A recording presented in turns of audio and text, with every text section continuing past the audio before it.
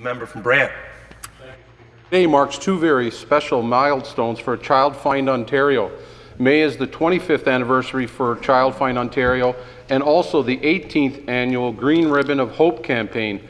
Ms. Sue Snyder, the Deputy Mayor of Mulmur, Ontario, the Vice President of Child Find Ontario, and the first Vice President of Child Find Canada, joins me today in the East Gallery in asking members to, uh, to this House to assist Child Find bringing messages of hope to families in our community.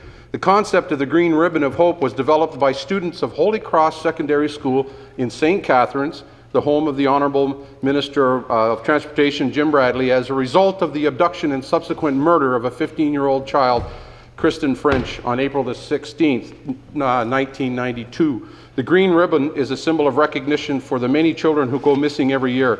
The color green embodies the sign of hope for those children who have gone missing. Last year, Speaker, the RCMP, National Missing Children Services, reported that over 21,000 children went missing in Ontario alone. With recent events in Woodstock, the education and prevention programs Child Find Ontario provides are vital in helping families cope with the many obstacles that they are not uh, as an issue of 25 years ago.